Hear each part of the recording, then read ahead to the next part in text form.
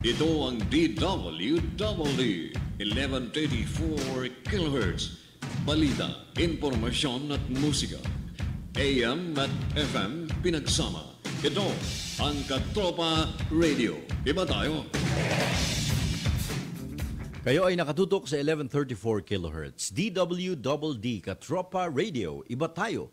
Kami po ay kasapi ng KBP, Kapisanan ng mga Broadcaster ng Pilipinas.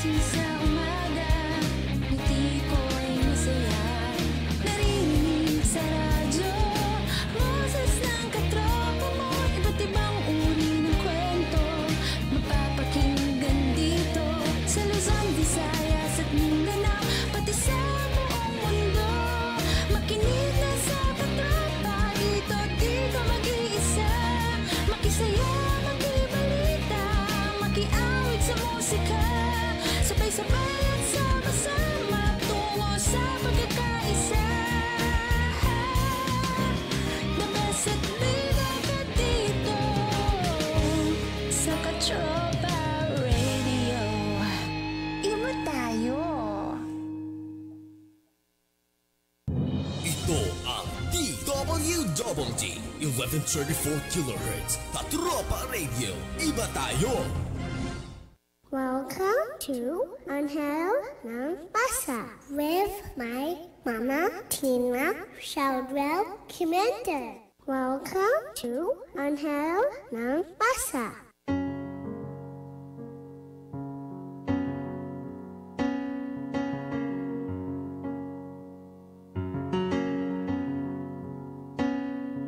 Ang pagtulong sa kapwa Kailan may walang kapalit Sa busilat mo na puso Di Buhay mong inalay Sa kapwa Ay pag-ibig. Ang mga may problema ay iyong nadarama. Ang sayo ay may lumapit. Pakikinggan mo siya Sa bawat dumating na pagsubok May pag-asa. Anghel ng masa Dulot mo sa kapwa ay ligaya Kaming tigip sa luha Papaon mo'y saya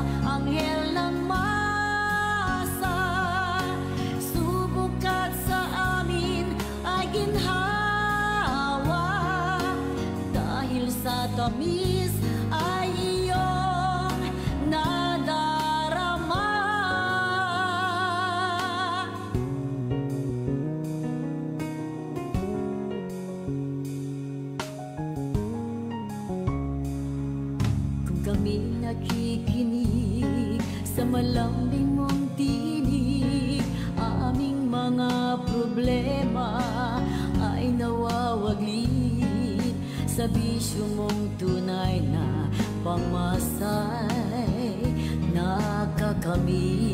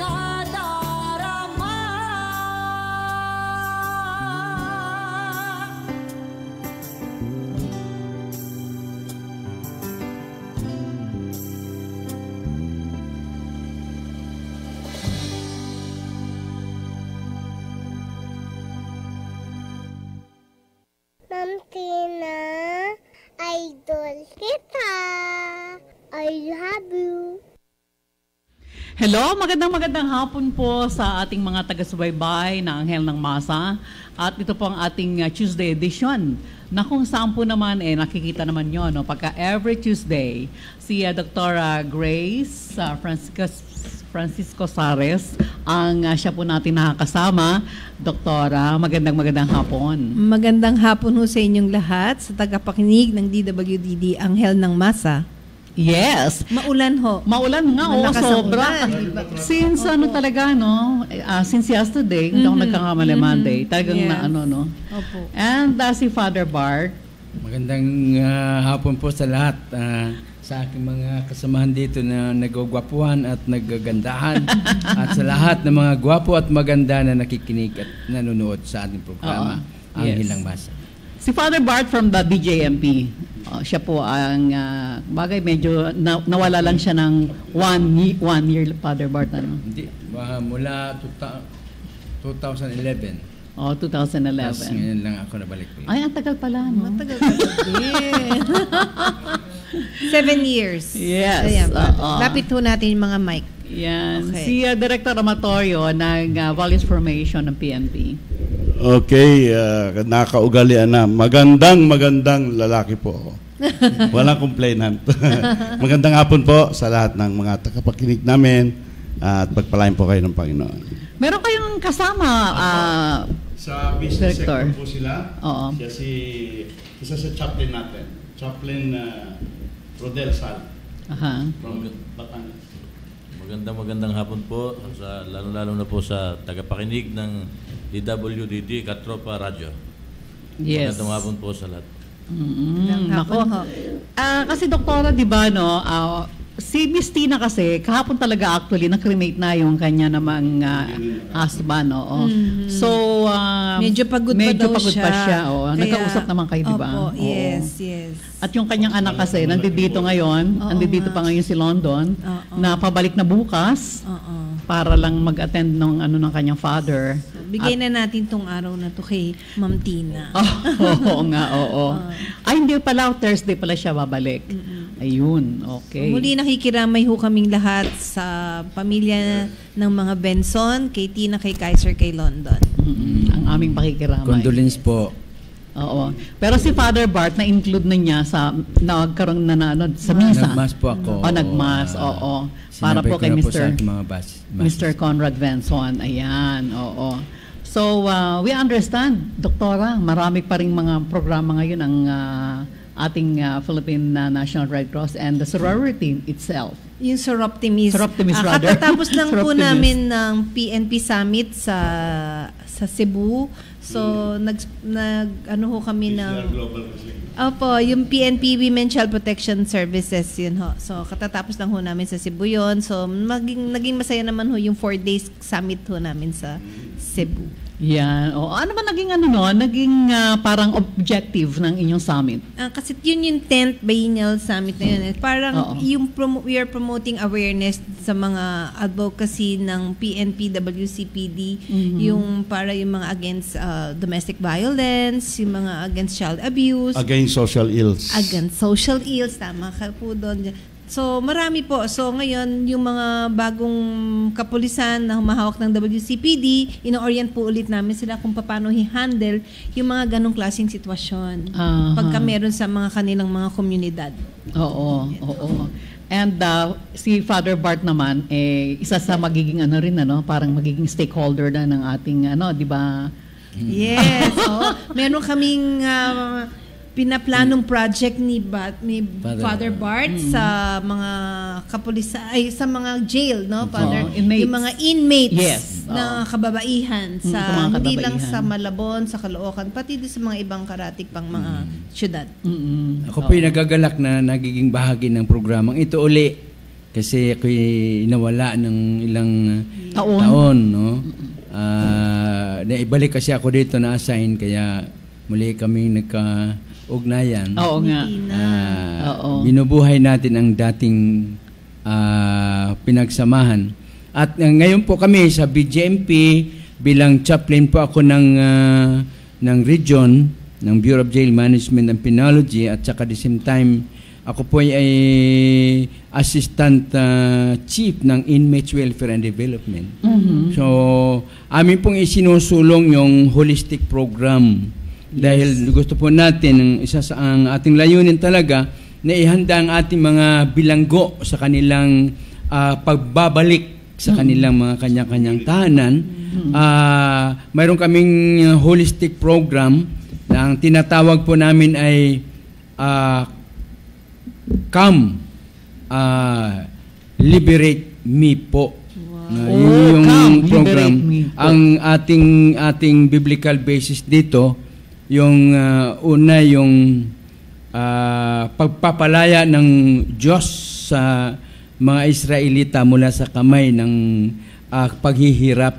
Ng oh, pagpa- pagpapahirap din ng mga ah, Ehipsyano No. patungo sa lupang pangako na mayroon pong bumubulos na gatas at pulot po, ah, putyukan yung Pulot putyukan. ah, Uy, alam ko yun ah. ay, ah, Matamis na ba ako sa Exodus chapter 3 Mas matamis pa yun. at ah, isa pang basis natin ay yung of course yung creation story na ang tao ay nilikha sa larawan at kawangis ng Diyos at siya din po ay ginawang katuwang ng Diyos no um, sa pagbubuo uli o pagpapatuloy ng kabutihan ng buhay ng tao mababasa po natin ito sa ah, Genesis chapter 1 26 to 29 no? Yung paglikha ng buhay ng tao. At ah, magamit din po natin yung Isaiah 61 yung one, yung tina- sinasabi po doon na The Spirit of the Lord is upon me, therefore He has sent me to preach the good news to the poor, sight to the blind, liberty to the prisoners, no? and to proclaim the liberating, favorable year of the Lord. Na mababasa din natin sa sa Lucas 4, no? Luke 4, 18 to 19. No? At of course, ah, ang ah, tawag nito, mababasa din natin yung reference doon sa final judgment Aha. na Matthew 25 verse ah, 35 to 40. Ano man ang ginawa ninyo sa pinakabakong kapatid, ginawa ninyo sa akin. Nang ako'y nagutom, pinakain ninyo ako. Nauhaw, pinainom ninyo ako. Walang damit, tinaramtan ninyo ako. Walang tahanan, pinatuloy ninyo ako. Nagkasakit, tinulungan ninyo ako. At nakulong, pinasalan ninyo ako. No? Halik kayo, tanggapin ninyo ang buhay na walang hanggan. No? So, ito po yung mga ilan lamang sa mga references, pero of course, yung layunin talaga ng ating Panginoon pagpunta sa mundong ibabaw upang tayo ay iligtas, iahon mula sa kadiliman papunta sa liwanag ng siyang ating Diyos Kristo.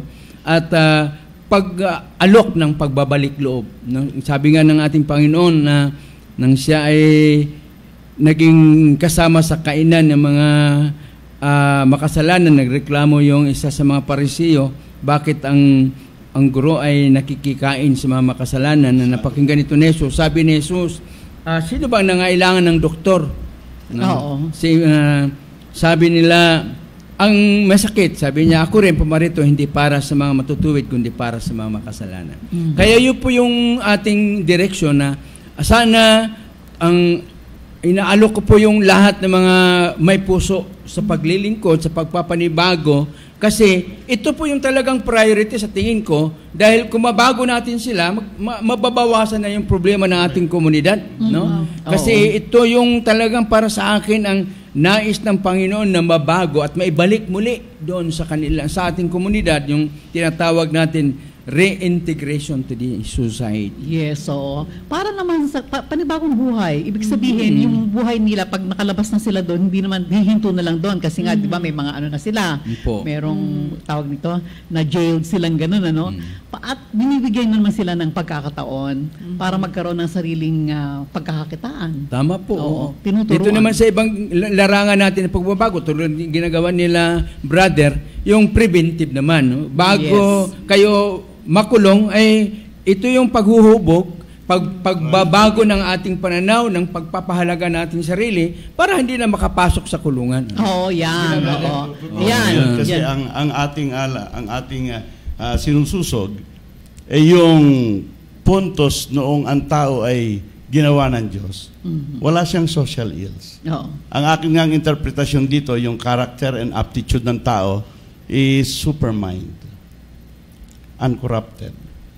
Kanya lang, nang ang tao ay bumagsak sa kasalanan, yun na po yun. Ah, kailangan, yung iba sinisita yung pagbibinyag ng bata, pagkukumpil, no? Pero hindi, kailangan talaga pag ang bata ay isinilang sa isang maliwanag, mula sa kanyang kabusbusan hanggang sa paglaki. Kailangan siya ay maturuan ng tamang turo. Unang-una yung pagkatakot sa Diyos.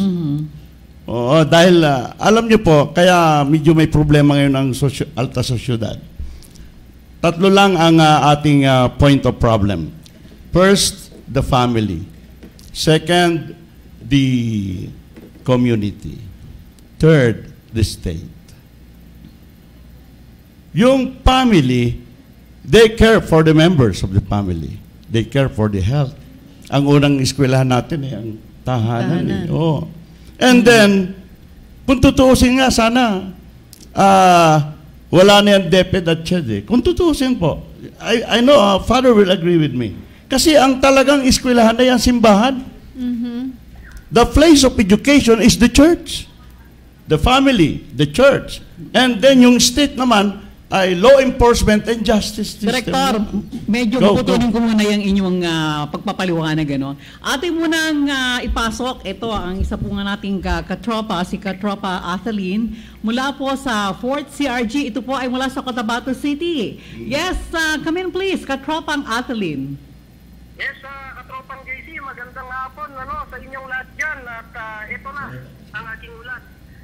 Isang simposium ang kasalukuyang ginaganap dito sa Akademya de Teknolohiya in Mindanao Incorporated, Cotabato City, na kung saan ay layunin ng aktibidad na to na impormahan at magbigay kaalaman sa ating mga mahal na mga estudyante ukol no, dito sa kung ano ba talaga ang terorismo, mga masasamang dulot nito at ah, kung paano makaiwas sa pandilin lang ng mga makakaliwang grupo o mga terorista para sumanib sa kanila. Ang aktibidad na ito, no, katropang JC, ay ah, pinangunahan ni Major Casin Yugayak, yung commander ng 42nd CRU, 4th CRG ng CRS AFP, kasama ang CMO Battalion ng 6th Infantry Division at mga estudyante ng Strategic Civil Military Operation Non-Commissioned Officers Course Class 19-18. Kabilang sa mga dumalo sa nasabing symposium, katropang JC, no, ay ah, sina Honorable Attorney Frances Cynthia Ginay Sayadi, yung mayor ng ah, Cotabato City, Ustad Ismail Ibrahim, Lieutenant Colonel Marton ah, G. Abo, yung Acting Chief of Staff for CMO, yung G7 ng ah, 6th Infantry Division, at ah, si Major Manyago B. Makalintangil at Retired Colonel Salipada T. Ulangkaya. At ah, yan, ang aking ulat mula dito sa Cotabato City, Katropang DC. Ako si Katropang Adeline na nag-uulat para sa DWWD Katropa Radio. Iba tayo. Yes, maraming maraming salamat, katropang Athelene, mula naman sa 4th CRG. At yan ay sa Cotabato City, no, hinggil sa symposium na kanila isinagawa na napakaganda kasi para tong ano eh, parang ah, mamulat ang ating mga kabataan sa mga pangyayari, lalo na yung mga terorismo na maaaring hindi nila alam ay ah, nagiging ano na sila dito, nagiging kinakasangkapan na sila ng mga terorista. Yan, okay. So, mabalik tayo. So mabalik po tayo kay uh, Director Amatorio. Yun nga po, ang tao ay bumagsak sa kasalanan. Alam niyo po, yung sinasabi ni Father, tama eh. Tinan mo, nung tayo ay lalalangin pa lang, eh, nag-usap sila doon sa taas eh. Ang mga, ang Diyos ay nag, nagkipag-usap at sabi niya, lalangin natin ang tao mula sa ating wangis at larawan. So, hindi tayo nilalang na mukhang unggoy. Hindi tayo nilalang na galing sa hayop. At ang tao ay may tamang pananaw. Yung pananaw na binubuo, bumubuo ng mga bagay na pinaniniwalaan at pinapahalagahan. Ito yung nagbibigay kulay at kahulugan sa mga bagay at mga pangyayaring maaaring maganap sa ating paligid na siyang magbibigay hugis sa ating pagkilos at paggalaw. Makikita natin doon yung authority na ibinigay ng Diyos sa tao. Ah, supermind talaga. But when it comes uh, to the interpretation ng tao, iba eh. Kasi yung good governance na idinikta ng Diyos sa tao, sabi niya, eh, Adam, pangasiwaan mo itong halamanan na ito. Isa lang ang inyong huwag gagawin. So may pinagtagubili ng Diyos. So the good governance is even applied. Hindi corrupted. But, alam niyo po, ang sabi ng banal na kasulatan, mayroong isang nagnanais na nakawin yung ibinigay ng Diyos na supermind. Ito si Satanas. Gusto niya to steal, to kill, and destroy. So una niyang nanakawin yung mga itinuturo sa mga simbahan. Ang simbahan ay hindi pwedeng magturo ng masama. Ang tahanan ay siyang unang pinagmumulan ng good deeds, good works, good name, dignified name.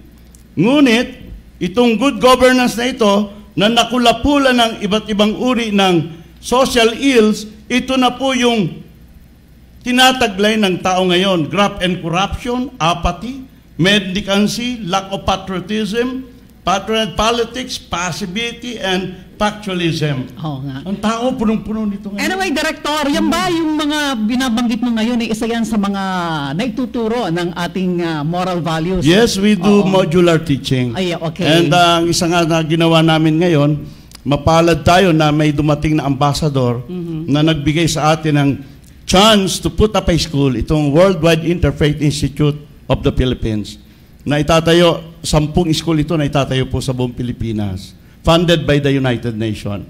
Meron kaming uh, tatlong pare na katoliko, tatlong ustad, tatlong ah, pastor, at yung iba, inimbitahan talaga namin, kahit hindi naniniwala sa Diyos, magturo kayo dito.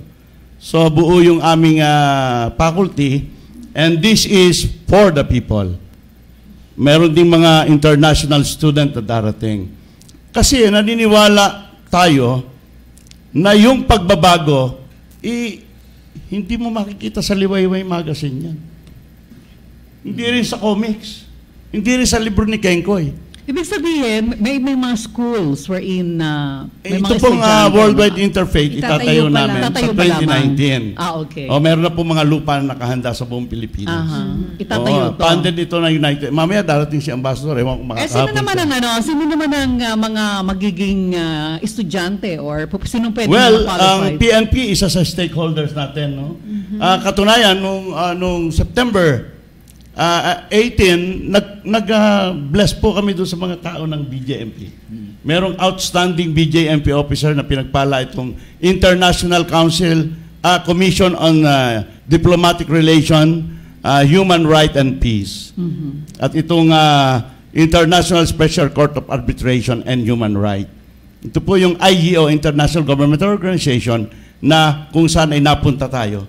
Aha. At ako po yung naging ah, parang chancellor nila. Oh, okay. Ah, Director, consider us, no? Kami, kasi ah, ngayon, ah, binuo, ah, pinapalakas namin yung aming interfaith, ah, ecumenism and interfaith yun. dialogue sa sa BJMP.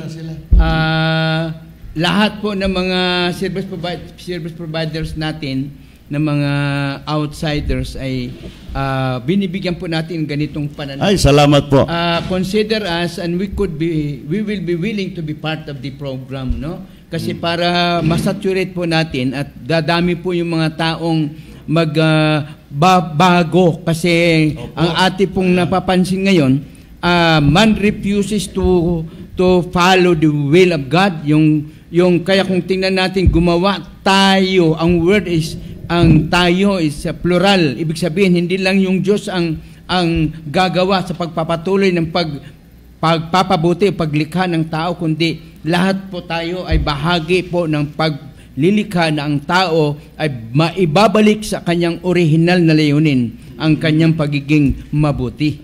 Ang isang example dito na napakalungkot, tinan mo ha, yung ating ah, five pillars, pag pag-aaralan mo yon, may proseso yan eh.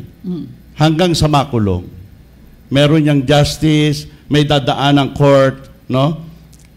Makikita mo ang panlima dyan, community. Eh bakit hindi tinatanggap sa community yung mga nag-serve doon sa kasalanan nila? ito ang isa sa social ills na kailangang mabago sa mga Pilipino. Sa ibang bansa, pag ikinakulong, hindi kayo tinuturing na na pag nakatapos na ang termino mo, hindi kayo tinuturing na masama. Kung mag-apply ka ng trabaho, tatanggapin ka. Dito sa Pilipinas, ay ex-convict yan. Napakalungkot po. Eh bakit pa tayo may kulungan? Kung ah, pagkatapos na mag-silbi doon at pagbayaran ng kasalanan, ah, kaya nga meron tayong justice system eh. Para ma- masuri, mabigat, matimbang kung ang tao ba ay nagkasala dahil sa ginusto niya o biktima lamang siya ng isang pagkakataon. Actually po yung uh, director, yung ma- mapapansin natin kung ano po nangyayari sa ating lipunan ngayon, kung ano po yung nangyayari, bakit dumarami yung mga makasalanan at dumarami sa alimba sa konteksto natin, dumarami yung gumagamit ng droga, it is because of the pressure of the environment, no? Yes. Ang kung tatanungin po natin yung mga mga preso, bakit ginawa nila yon? Yung una, yung Kahirapan. yung kahirapan. Pangalawa, they want to escape from the reality of of uh, poverty, no? Yes. Um, um, doon po natin tapos eroded pa yung ating mga pamilya. Yung mga ang values ay hindi po na-strengthen kasi nakikita kay tatay at kay nanay Correct. na sila yung naging unang educator. Ang problema, masama ang pag-educate o hindi mabuti ang pag-educate. Kaya ano ang maasahan natin na, na magbago? Kung halimbawa sa standard ng mga Pilipino, mayroon tayong limang anak sa bawat pamilya, eh kung pasaway si nanay at si tatay, siyempre ah, walang ibang magiging model, si tatay, si nanay. Eh kung may, li- may limang anak, di may limang pasaway. Na, Tapos na, na, limang- doon nagmana. na nagmana. Tapos ang limang pasaway, nag-asawa uli, nag-anak uli ng tiglima, mayroon ng 25 pasaway. Pas- pasalin-salin lang. Oo, kung yung 25 pasaway, nanganak uli ng tiglima, ah, tuloy-tuloy po. Yung, yan kasi ganito So, yan eh. na- Tama siya eh. Tino mo ha? Gano'n ibig sabihin. Oo, yung tatay ko lang. Wag na ako, wag, hindi na ako tuturo na iba. Yung tatay ko, sabi niya, maliit pa ako ha. Nicolas, bili mo ako sigarilyo. Pero nung, nung nakabili na ako, isindi mo yung isa. Nangyayari yan eh. Di isindi naman ako. Natuto akong humitit ng sigarilyo. Eh, tapos, nung nasa sa school, dahil nagsisigarilyo na ako sa school, sabi nung pinatawag ang tatay ko, di ba sabi ko sa'yo, huwag kang maninigarilyo? eh, confused ako ngayon. Mga kababayan, confused ang bata. Dahil, isipin mo, uutusan ng tatay na bumili ng sigarilyo. Sindi mag... Isindi mo na rin. Tapos yun. Oo, ay kung matalino yung bata, bago makarating sigarilyo, kalahati na lang yun. Oo. Oo, di ba? Ginawa ko rin yan, uh, director, na ako'y mali. Samantalang tayo ginilalang ng Diyos with distinctive quality. Distinguishing feature of a righteous person. Malinis. Oh, yun ang, kasi wangis ng Diyos eh. Tama naman yung uh, director, sa last creation story, uh, creation story, sinabi, nilikha ng Diyos ang lahat ng bagay na Mabuti. mabuti. Kaya wala po siyang nilikha ng masama. Ang problema lang, yung ating pali, paligid, ang siyang nagpapasama na nag-impluensya ng kasamaan sa ating ah, bayan. Yes. Bawat isa sa Ah, Father Bart, medyo mag-ano muna tayo. Oo. Mag-break po muna tayo. Magbibigay tayo ng ilang paalala mula sa ating himpilan. Ito ang DWWD 1134 kHz. Balita, impormasyon at musika. AM at FM pinagsama. Ito ang Katropa Radio. Iba tayo. Kayo ay nakatutok sa 1134 kHz. DWDD Katropa Radio. Iba tayo. Kami po ay kasapi ng KBP, Kapisanan ng mga Broadcaster ng Pilipinas. see.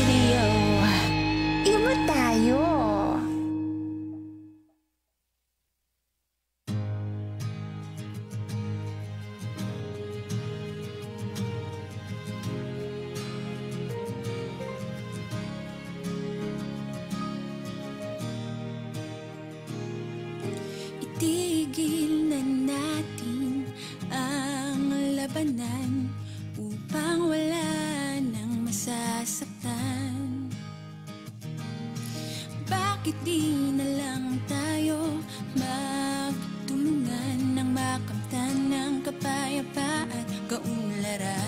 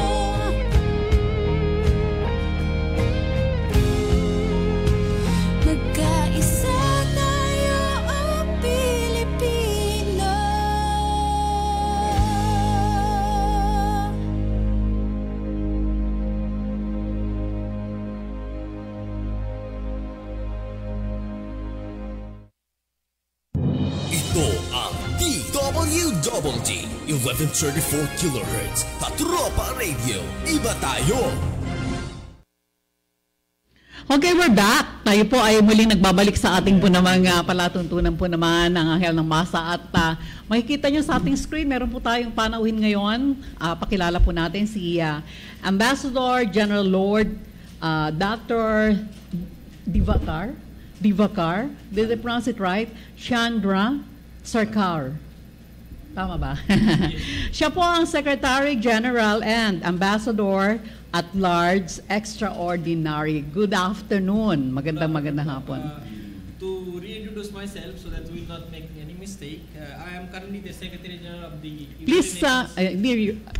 Yeah. Closer I'm your mic. the Secretary General of the United Nations International Commission of Diplomatic Relations, Human Rights and Peace, licensed intergovernmental organizations under the UN, Mhm. having license also from the International Court of Philippine Arbitration under the International Chamber of Commerce and uh, Commonwealth, along with, By uh, though. EU is not in good terms with the Philippines, but we also have a license from the European Union.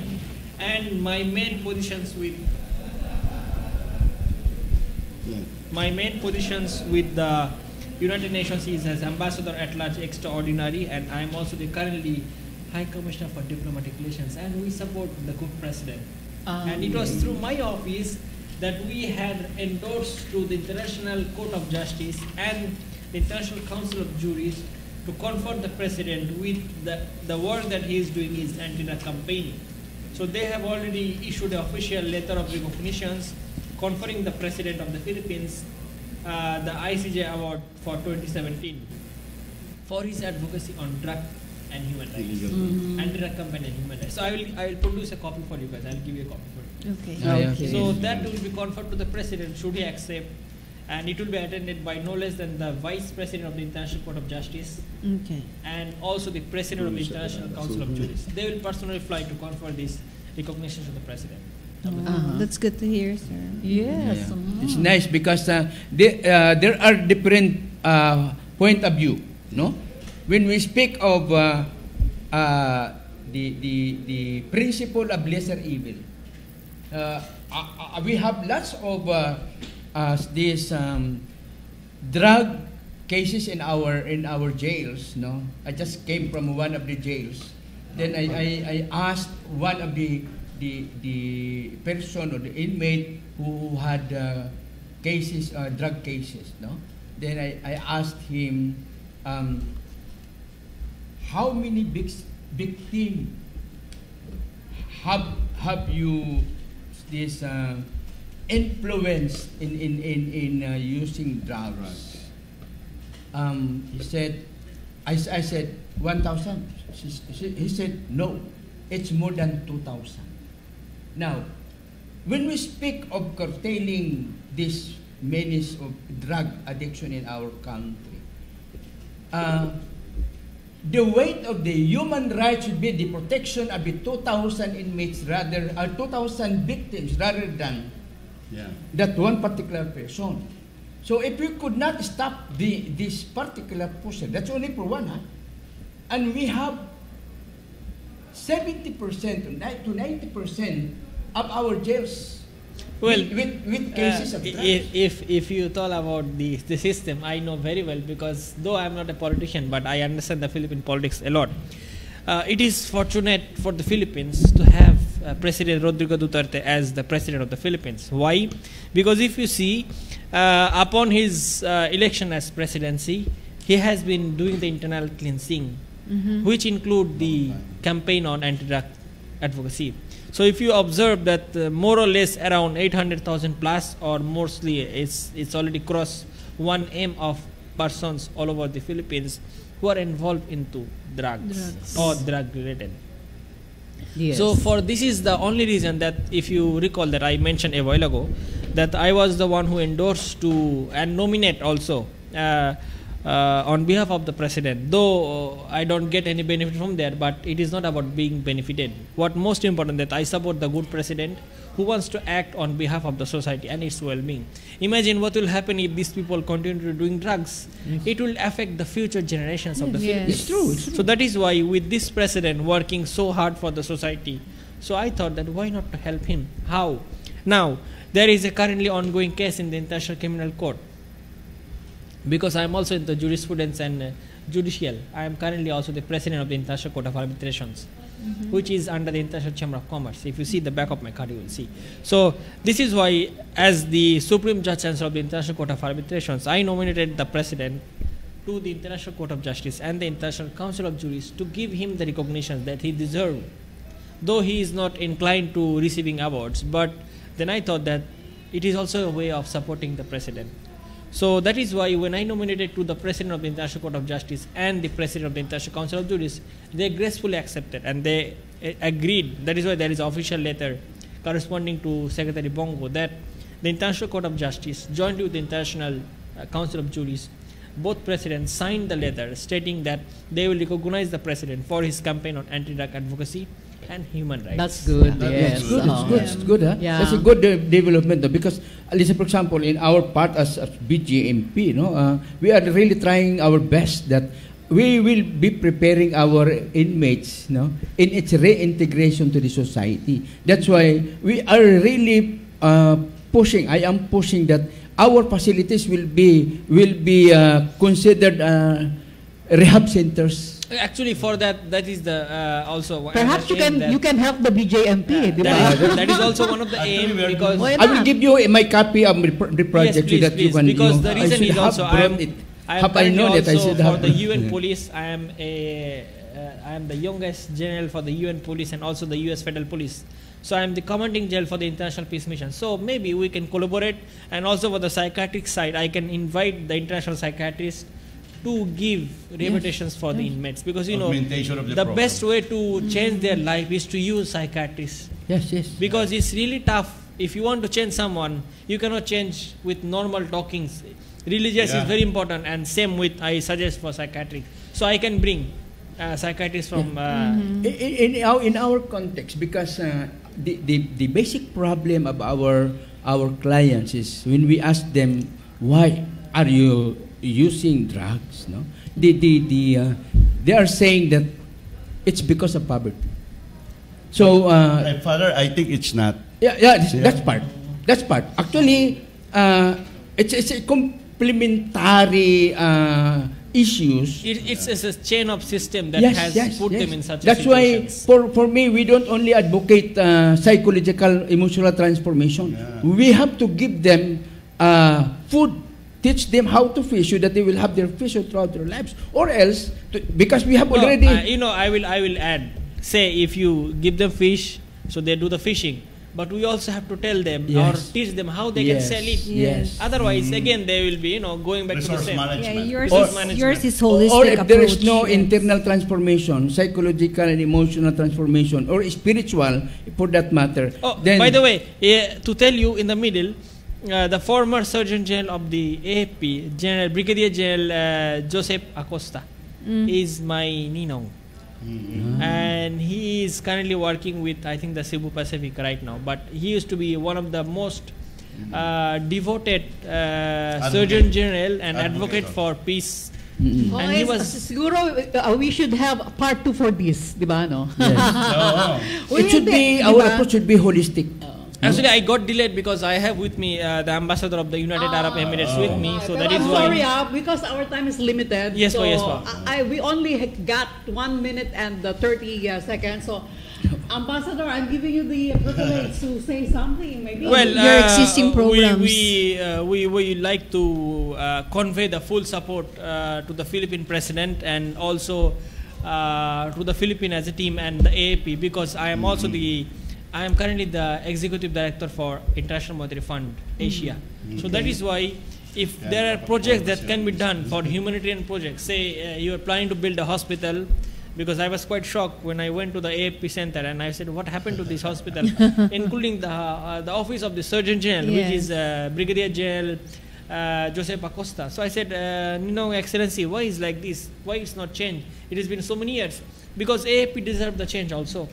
so I, I told him that if ever, if feasible in near future, maybe we can build up uh, joint collaborations to build a hospital. Okay. So why not? Why not? So, uh, thank you very much for gracing Thank you very the much and, program. uh, yes. grateful to. Thank you. We will- we will Thank you, have- sir. we- We're going Another to day. you again, okay? We will you much. definitely have a part two of this Yes, program. Thank you very much. Thank you very much. Tuesday natin muli gawin, di ba, no? Yes. Yeah, next talaga siya. next Tuesday I will be make it free because this was a surgeon meeting because we are in a plan to give a humanitarian assistance to the the government for the Baguio, uh, the typhoon that happened, and Oh, also in yeah. uh, Cebu. Plus, we're also in lineup to give ambulances, mini ambulances, which will be helping the government. So that is why we're extremely busy. Uh, we just had a call with the Undersecretary General of the United Nations. Plus, I have with me the Ambassador of UAE to talk on this. So uh, that's the reason we got delayed. So we just had the agreement signings and all. So Yeah. welcome, uh, Ambassador. Thank you very much. Thank and you we are Thank happy you that you so are my much. honor to help and serve the society. Uh, Okay. before I do So the parting they- words, yeah, I will say one uh, small. so. Uh, ask not what humanity can do for us as a human being. Ask what we as human being can do for humanity because there is no other way to serve God but to serve uh, our fellow humanity. That's right. So again, thank you very much. Yes, Thank you, maraming maraming thank salamat po. Thank you very much, Father Bart. Dr. Yes, Gray. uh, ako po yung nagpapasalamat sa pagkakataong ito at natutuwa po ako. We have the ambassador and uh, uh, I will be giving him my my my book my uh, for, for, the- for our program in the Bureau of Jail Management and Yes, Penology so that you can you can read it and then probably if there will be an opportunity to help us also look for funds because uh, our national government somehow uh, not giving more priority to our clients. Actually, if I may batin, siya yung sinasabi ko maglalagak ng pondo doon sa ating ano. For the school. Yung guest natin nung isang ano. Baka makatulong ka And sila rin ang founder ng Dr. ating Grace, school. oh, sa inyong ano, di ba, no? Charitable. Yung ating sampung school na itatayo, si Ambassador po yung ating uh, source. So, maraming maraming salamat po. Thank you very Thank you much. very ano much. po, Thank you, inyong- Ambassador Thank you very Sarkar. Yes. We will definitely have a part two of this uh, topic. Yes, oh, we'll have the part two. So on behalf of Ms. Tina Clemente, ito po ang inyong lingkod, Jessie Alayon. Maraming salamat. Isang magandang hapon. Hello. Hi to Dr. Flor. Hello. Ito ang DWWD 1134 kHz. Balita, impormasyon at musika. AM at FM pinagsama. Ito ang Katropa Radio. Iba tayo. Kayo ay nakatutok sa 1134 kHz. DWDD Katropa Radio. Iba tayo. Kami po ay kasapi ng KBP, Kapisanan ng mga Broadcaster ng Pilipinas. Ito ang DWWD 1134 kHz Patropa Radio. Iba tayo.